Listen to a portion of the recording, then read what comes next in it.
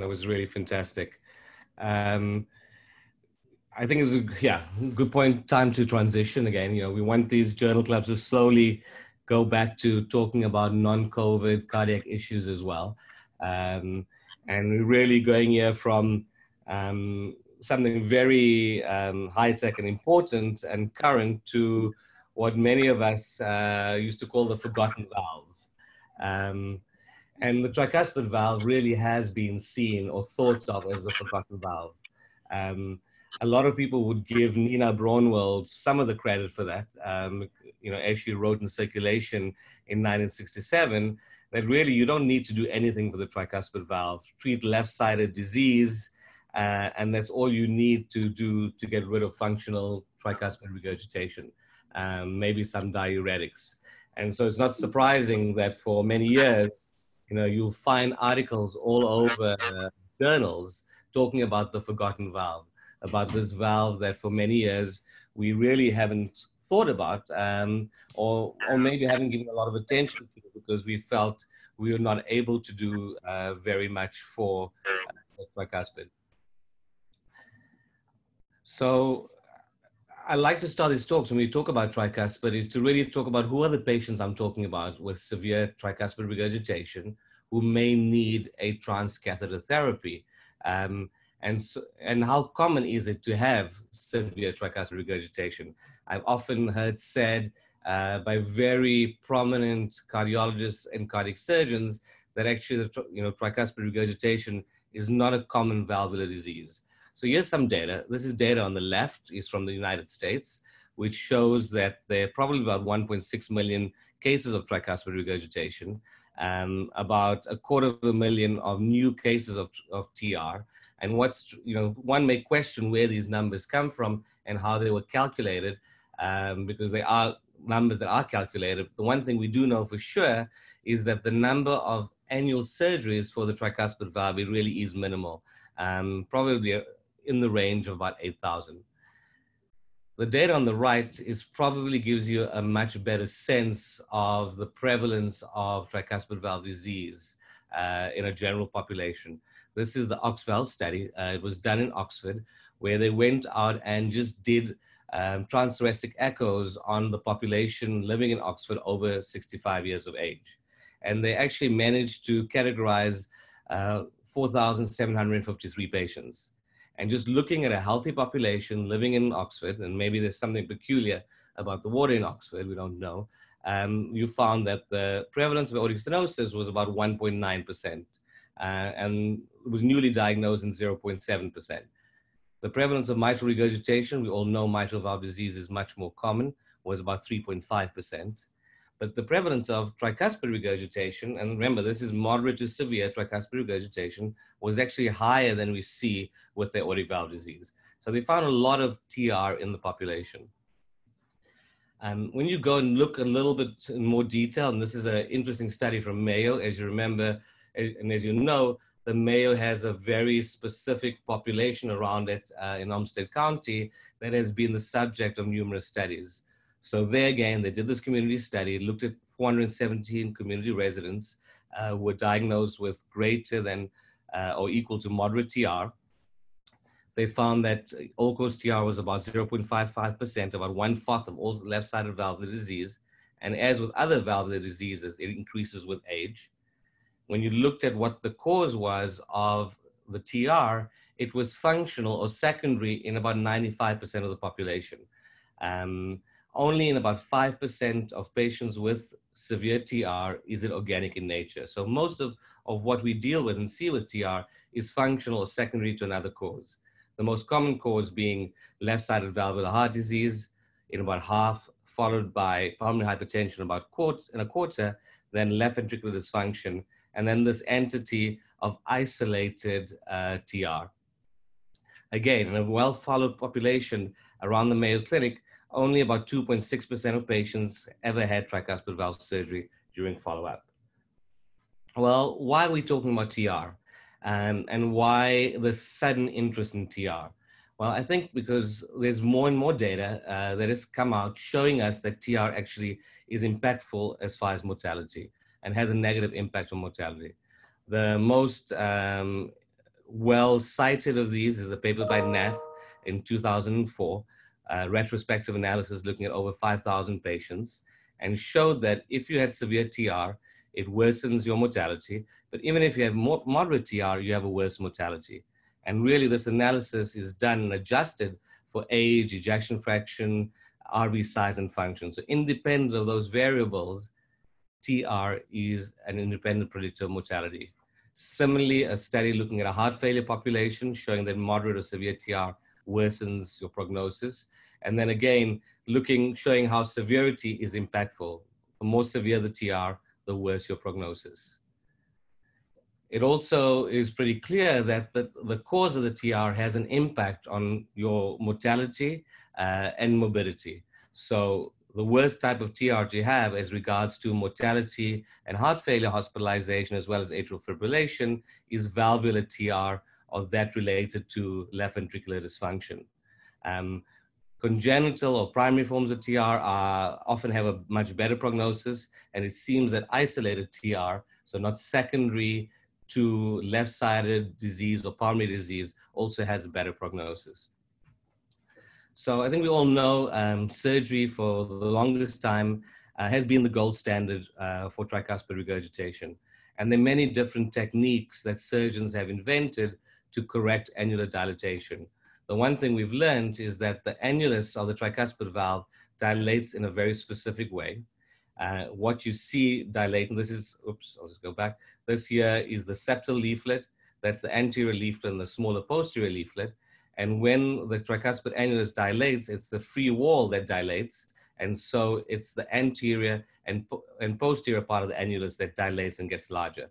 So many of the therapies um, done surgically are all about correcting that annular dilatation and particularly correcting this aspect, the anterior posterior aspect, which is where most of the dilatation goes.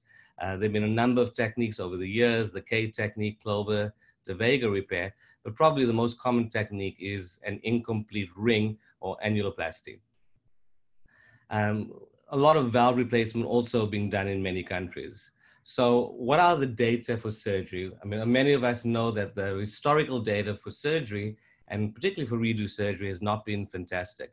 Um, but, you know, we are now, we do have now modern surgical techniques. We have great ICU intensive care. So maybe results are better. So these are more um, current data on, on TR. And if you look at, this is a analysis done of the National Inpatient Sample Database in the United States and two different analyses done from the same in-sample database. There's a lot of information here, and let me just summarize really the most important parts.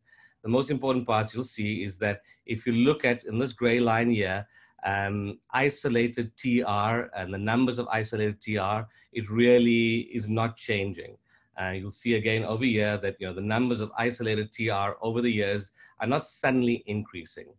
The other factor we realize that in the United States, probably about more than half of the cases of, of surgery for tricuspid valve disease, when isolated, is actually tricuspid valve replacement, um, and only about 40% is tricuspid valve repair. But I guess the most concerning issue is probably this graph at the bottom um, which looks at in-hospital mortality for patients undergoing tricuspid valve repair replacement. And if you look over a modern 10-year period, the mortality has not changed. The in-hospital mortality for repair has been in the range of about 8%, and for replacement in about the range of about 10%. So in well-selected patients, and remember, you know, a surgeon to operate on a patient for isolated tricuspid valve disease will really choose a patient that is low risk for surgery in a well-selected patient, the risk uh, is in the range of, of in-hospital mortality of 8 to 10%. And why do these patients do badly? It's, and it's, I don't think it's related to bad surgeons or bad surgical technique. It's related very much to the patients and the fact that when these patients are referred for surgery or any intervention, it's often too late and we're intervening on them too late. They're older, uh, they have more advanced disease with cirrhosis, with renal dysfunction, with low albumin levels and hemoglobin, and these patients then do very poorly. And it's been because we've seen that the numbers of TR patients are not decreasing, they're increasing. It is associated with mortality, and surgery has not had uh, the best of outcomes. And I think, uh, once again, I don't think it's the surgical technique or the surgeon, but it's really related to the patients who are being referred to surgery that are too late. But seeing this unmet clinical need, what's happened uh, is there's been a flurry of devices in the transcatheter space. Um, and all these devices are devices designed um, to be done percutaneously, either via the femoral vein or via the jugular vein um, under echocardiographic guidance. And what all these techniques have tried to do uh, is try to reproduce surgical techniques. So you saw there were direct suture annuloplasty techniques. They're now transcatheter techniques trying to do that. The transcatheter techniques trying to recreate surgical annuloplasty or to try and improve coaptation or even to replace the valve percutaneously. Now, I don't want to go through too many of these techniques, but just give you a sense of what's happening in the world. If you look in the world, um, this is a TriValve registry that we've contributed to, and you see the number of cases I have increased considerably.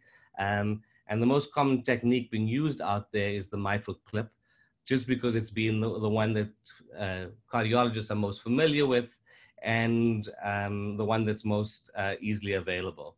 So there are over 2,000 cases done worldwide. Uh, here's an example of a patient with really severe TR uh, that we treated with two MitraClips, and you see the final result was really minimal TR. Um, there are a number of studies that have been performed and that are ongoing, really looking at tricuspid clipping. Um, and really, the data has shown that this technique is feasible. If you get a good result, so you get procedural success, you actually uh, have an impact possibly on mortality. Remember, this is retrospective data. We are waiting for prospective studies. Um, and that you can really reduce the TR and make patients feel better. In comparison to the mitral valve, all of us working in this field have been really surprised about how even modest reductions in tricuspid regurgitation make patients feel better. Uh, here's another device called the Pascal device, a little similar to what you what I just showed you with the MitraClip, but done by another company. It also has the advantage that not only does it bring the leaflets together, but it's also a spacer in the middle of the valve to decrease the, the orifice. And again, with this device, you see important reductions in TR for percutaneously replaced device and a marked improvement in symptoms with 88% of patients in NYHA class one and two uh, at the end of the procedure. We can also reproduce percutaneously a surgical annuloplasty. Here, this is one of the devices that can do that. Uh, there are a number of devices now becoming available that will allow you to do that. And again, with this device, showing you mark improvements in EROA, NYHA class, KCCQ, and six-minute walk. The latest frontier, and for me, one of the most exciting ones, because many of the patients that get referred to me for evaluation are often patients who have very severe TR with large coaptation gaps. And when a patient has a very large coaptation gap, probably larger than 10 millimeters, it's hard to grasp these leaflets with clips and Pascals and, and these leaflet devices. So now there are at least six or seven valves uh, that can be placed percutaneously that are becoming available for the tricuspid valve as far as data is concerned, you know, do these therapies, are they impactful? You know, I want to remind you that there's actually, there actually are no randomized controlled trials comparing surgery to medical therapy for the tricuspid valve and for functional TR. We have performed, and you'll find the study in JACC, uh, we published this last year, um, a retrospective study where we took 472 patients treated with a transcatheter technique and propensity matched them with a large group of patients who were treated medically, uh, including a large group of patients who were treated at the Mayo Clinic. So we knew they were treated uh, extremely well. And when you propensity match those patients together and looked at the effect of transcatheter therapy, you do see the signal, and I'm going to call it a signal and for now because it is retrospective, of a reduction in hospitalization for heart failure and possibly even a reduction in mortality. Uh, there are a number of ongoing retrospective studies that are trying to look, uh, sorry, randomized controlled trials that are trying to delineate this better. So when should you intervene or when should you refer a patient uh, for tricuspid valve uh, therapies? I think the earlier the better.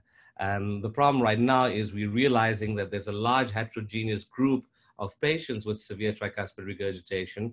And the patients that I often get referred to, uh, referred for therapies are these, this group here that are really end stage patients with very dilated right ventricles and poor RV function potentially may not benefit from any therapy or any reduction in TR. And we really need to move the bar earlier and earlier. Um, I'll just move forward one. Um, I do think you know that these are a very complex group of patients, and in order to make these decisions, it really requires a heart team, and that's kind of why we wanted to present this in our combined structural heart failure team, where structural heart and and heart failure work together. We really what we want to do is try and find patients where they are progressing, they are starting to become symptomatic, uh, remembering that the symptoms of severe TR can often be vague and not very obvious. You don't have to wait until the patient's JVP is above their ears or until they have four plus edema. Uh, we need to get them slightly earlier before they get to this point over here where there's really will be a point of no return and they may not recover. Um, we need to get them here and then be able to offer them the right therapy, whether that be surgery or a transcatheter intervention. And really are there a number of variables that need to be taken into account when evaluating that. So maybe a couple of take home messages in a short period. I wanted to highlight the forgotten valve and how important it is uh, functional TR. It's, there's really convincing data that's associated with a poor prognosis, and the majority of patients are really not being offered any intervention. We need to think about transcatheter interventions, and I think we need better patient awareness and physician awareness so that we can get these patients earlier. Um, I really want to then to end with, you know, it's nice to talk about these things in general, but really, what is it we can offer at Montefiore? And, you know, what is it we have here? Besides having a great heart failure team um, and a good structural team, what can we offer your patients? So these are the studies we have running this year for the tricuspid valve in Monte. Uh, we do have, we are part of the Triluminate randomized study that'll be randomizing patients either to a clip or medical therapy. I like to call the study the COAPT of the tricuspid valve because it will help us understand um, really do these transcatheter therapies impact mortality because mortality is part of the primary endpoint. Uh, we will have two different valves that can be placed via the femoral vein, and we also will have the class, the Pascal device, and be part of a randomized study. So there are a number of different studies and devices that you can get your patient into. So I think you know one of the final messages was yes, at Monte we will have devices, but I also wanted to share that you know at Monte we do have the expertise. Uh, I don't know if any of you have seen this website, but it's a worthwhile website to look at if you're trying to find an expert in the field. And so if you put in experts in tricuspid valves, you see that you know most of them are in the United States, um, probably a lot of them in New York and some at Columbia. But you know in New York, fortunately, we have two of the top uh, tricuspid valve experts in the world, and one of them at Monte. So we can offer your patients devices, but we can also offer them expertise. Thanks, Uli. I'm going to stop there for the sake of time. Yeah, that was that was terrific. Um, of course, you don't tell me anything new about the, the number one tricuspid expert uh, being somewhere in New York. Um, very good. Can you hear me? Yes, I can. Okay, good. So um, we have a couple of questions on the chat, and then uh, we're going to um, let's see. And I saw one from Drew. Okay, I'm just going to read it out from Drew Krumerman. Uh, the septal aspect of the tricuspid valve shares real estate with the AV node, His bundle and right bundle branch. Can you comment on the incidence of AV block seen with implantation of some of these new devices? and also comment on difficulties crossing the tricuspid valve with pacer wires post uh, tricuspid valve repair. Yeah, those are great questions, Drew, um, and very important questions. So if you remember the picture I showed for the annuloplasty device, we try and spare the triangle of Koch and stay far away from it because we don't want to cause AV block. Um, for the valves I showed you, I do think that the incidence of AV block will be higher than say using MitraClip on the tricuspid. Uh, there's no, in, there's almost a zero percent incidence of, of pacemaker for tricuspid clipping. But as we go to the valves, uh, there will be a higher incidence. Right now, it looks to be still single digits. Um, and I think part of it because we are pressing on that area near the AV node, we're not actually putting sutures into it. And so that may spare us a little bit. Um, pacemakers, I saw there were two questions on pacemakers. Pacemakers, a couple of things in general about pacemakers. Once you have these devices in, uh, you can cross the device and put a lead across any of, of these devices without disturbing it. It has been done. In some cases, if it's been a fresh uh, implant, we've asked uh, EP to put maybe the coronary sinus or to put um, even a, a, leadless pacemaker. Uh, so that's something we've done. The final issue is really pacemaker-induced TR, and I saw a question from Omar. Um, it's not a contraindication, absolutely, uh, Omar, to uh, treating this percutaneously. Um, but we need to know whether the pacing lead, uh, where it is, right? So if the lead's free or sitting in a commissure, um, then we can, um, we can treat these patients. If the lead is um, really pushing on a leaflet and holding a leaflet open or stuck to a leaflet, it may be a challenge. Okay, terrific. Uh, we have uh, three more minutes. And uh, I think one of the slides you showed that uh, we try to find the patient as the point of no return. And again, I think the strength uh, of us here at Montefiore is that this is a team approach. And uh, Jennifer McLeod is one of the fellows. She's working with Sandhya Murthy. Sandhya, you all know, she directs pulmonary hypertension for cardiology and is on the eligibility committee of the Triluminate study, actually. So if you want to bring a case, you have to first get by uh, Sandhya. And Jennifer, if you just want to go, uh, they're going to. she's just going to show uh, three slides on treatment of uh, tricuspid regurgitation. That's the first thing the patient is going to go through if he comes to our team, medical therapy. Uh, Jennifer, are you on? Are you unmuted? Can you hear us and speak? I guess not. Okay, you need to unmute yourself yes, or mute. I am muted. I am muted. Yeah. Yes, you can. Can you hear me now? Yes, go for it. Excellent. Perfect. Thank you, Dr. Jorde, and thank you, Dr. Latib, for including me. I'm just going to briefly touch on um, secondary uh, TR, and particularly in pulmonary hypertension um, patients. This is a project I'm doing with um, one of my mentors, Dr. Murthy, here um, at Einstein. Um, so on the next slide, can I move forward? No, Azeem, can you advance the slide? Yes. Okay, there you go. Great. So functional TR is a common finding as you can expect in pulmonary hypertension patients, and it's mainly a consequence of advanced ventricular remodeling. Um, there have been studies that are showing that um, TR progression in pulmonary arterial hypertension patients specifically associated with progressive remodeling, which overall portends a prognosis in these patients. However, um, subsequent studies looking at these remodeling parameters, um, they have not been um, themselves been very good at predicting survival in these patients and seeing which ones um, have better survival in terms of if they have less remodeling. Um, on this slide here in particular, on the graph on the bottom right, um, a circulation published a study that kind of demonstrated this, um, that they saw that regardless of RV remodeling, um, these patients had very poor survival. Um, and in this graph, um, they actually stratified pulmonary hypertension patients who had functional PR. About 20% of them were severe. And even stratifying patients those who had overall very poor survival. So when thinking about this, um, maybe TR might be since it's showing that progression of TR might impact RV remodeling, maybe it might be a good idea of looking at the TR itself and seeing what impacts this overall.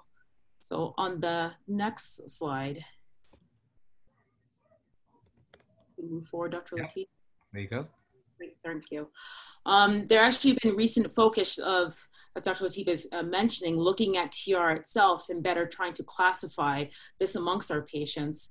Um, and uh, towards the right of this uh, uh, sorry, on the left of this screen, um, this has basically been taken from the ASE guidelines of how we traditionally classify TR as mild, moderate, severe. Um, but um, uh, out of one of the uh, experts on TR out of here in Columbia, Dr. Rebecca Hahn, she actually proposed a recent grading scheme to actually better quantify these patients um, and saying it's more complicated than just these three categories. Maybe um, you might expand it even to massive and torrential, um, which can better um, characterize particularly these pulmonary hypertension patients who can have very raging TR um, and to better be able to stratify them and be able to look at them individually instead of clumping, clumping a large amount of them in severe. Um, and so it could be very helpful and useful in pulmonary hypertension to really push the um, to really um, better be able to categorize the TR in these patients and how it relates to remodeling. So um, just an example of how we're looking at that in the next slide. If you play the videos, it's going to play briefly, but this is just an example of a patient um, on the left. Um, she had both of these you would initially, if it plays, I hope it plays well, but both of these patients would first look. Can you see it? I can see them. Sorry, it might be a little choppy, but both of these patients, you traditionally would call, classify them as severe. But um, um, actually, uh, if you kind of use the new grading system, um, on the left is showing this is a pulmonary hypertension patient who has maybe even on the new grading system might even be torrential TR. Um, but after being on pulmonary vasodilator therapy for even less than three months, if you look at her TR on the right, it actually is less. And on the new grading scale, it might actually be in the severe category. And she also has some parameters of her RV might have been um, reverse remodeling. And so maybe what is kind of driving that um, improvement in that TR? Is it the remodeling? Is there other parameters of the RV or the patient itself, which is driving the um, improvement in the TR? That's kind of a question we want to look at since TR itself portends a poor prognosis in these patients. So on the next slide. So just briefly, um, so this is a study that I'm looking at with Dr. Murthy. We want to um, look at the structural and functional uh, predictors of TR regression after initiating pulmonary um, PAH directed therapy in these patients. Um, so, so far we have about a good group of uh, 30 patients who have been defined as um, group one pulmonary arterial hypertension, and we have pre and post echoes right before and after initiating, well, not right before, but a good a little about median is like six months uh, to a year after starting therapy and then before. And we want to um, be able to classify this TR, hopefully using a new proposed grading system, and then observe either through patient demographics, therapy, hemodynamics, and even RV parameters to see what impacts the, um, what kind of predicts those patients to TR actually improves. Um, so um, and because if we do see that um, some, there might be a predictor and TR itself might be kind of a target um, that we could use for these patients, either um, it might suggest that we should maybe try to focus efforts either medically or maybe even interventionally or procedurally, as Dr. Latib was mentioning, um, as a way to intervene um, in these high risk patients. So once we kind of get more results and um, formulate that, I would be glad to um, share it in hopefully another future heart failure journal club meeting. That's Great. It really, you know, I think this highlights the importance of really working as a team for these patients because there are a couple of areas for those of us working in the tricuspid field where we're still struggling a lot. Um, and one of those areas is really the patients with severe pulmonary hypertension. You know, is there a level of severe pulmonary hypertension where it's futile doing anything to the tricuspid valve? And then also, you know, what is the role of treating these patients pharmacologically first, dropping their pulmonary pressures, and then possibly treating them with uh, transcatheter therapy? So I think there's a lot to learn there. Exactly. So I'm looking forward to once we get more results on this project. Um, um, I'm really excited to see what we might be able to discover um, through this. So I'm looking forward to it. Yep.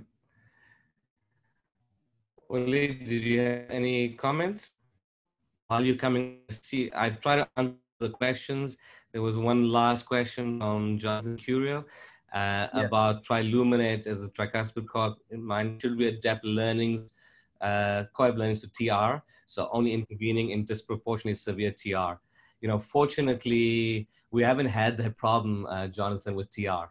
The patients, when they get referred to us for therapies, all have, you know, this torrential TR um, that um, you see in this new classification. It's actually, you know, I wish it was that was a problem um, because it would mean that we're being referred fit patients early enough. Um, but right now, it isn't.